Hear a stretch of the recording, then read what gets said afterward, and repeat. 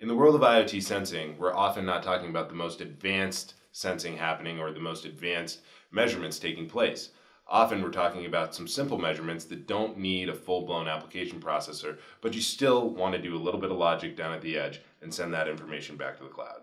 If you're one of those people, this is the DevKit Weekly. I'm Brandon Lewis, and you're about to be introduced to the PIC IoT WG Development Board from Microchip.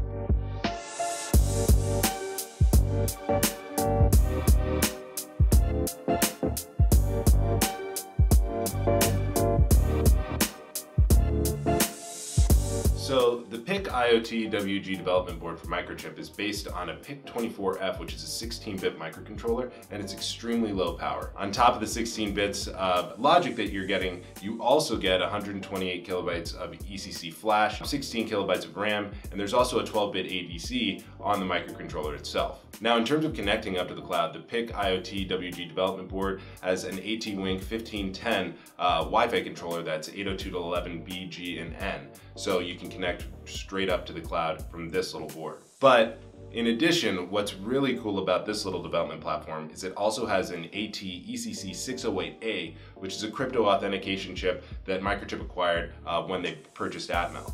And what that means is that all of your data transmissions between the board and the cloud platform can be secured because that uh, little crypto chip on here offloads that 16-bit PIC24F microcontroller. So you don't have to do all of your cryptography and encryption stuff on that small on that small micro that's extremely low power. Um, you save space for applications and the like.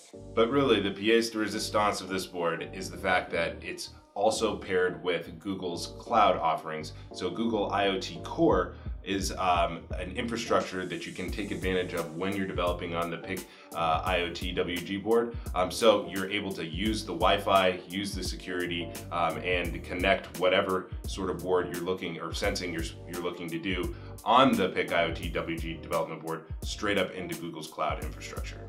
In terms of the sensing that you can do with this, you can see here that there's a mikroBUS socket right here, which gives you access to MikroElektronika's entire ecosystem of Click boards, which are little sensor, like sensor capes, shields that you can plug in really easily. Um, there are more than 450 of them, so I'm sure whatever you're trying to prototype, you can find a sensor for that at mikroelektronika.com. And when you start to think about the implications of all of the technology that's crammed into this little board, you can think that uh, because you're able to have access to Google's IoT cloud infrastructure, um, because you have uh, Wi-Fi connectivity on the board, and because you have this crypto chip, you can start doing some really cool things, such as prototyping secure provisioning.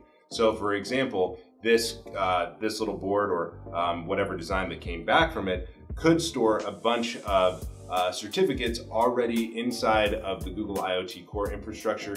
Then you ship this off into the wild. And as soon as the Wi-Fi gets turned on, uh, this crypto chip authenticates back um, with whatever certificate was stored in the cloud.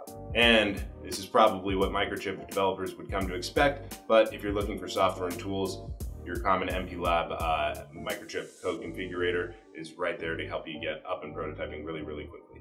Pretty remarkably, if you're looking to get your hand on a PIC IoT WG development board, you can find this on Microchip Direct or other electronic component distributors' websites for $29. But of course, if you're being extra thrifty this week, uh, you can enter the raffle uh, that we do every week on the DevKit Weekly. There's a link for that in the description below, and try to win this one for free. Thanks for watching. Please like, subscribe, and comment. We'll see you next week on DevKit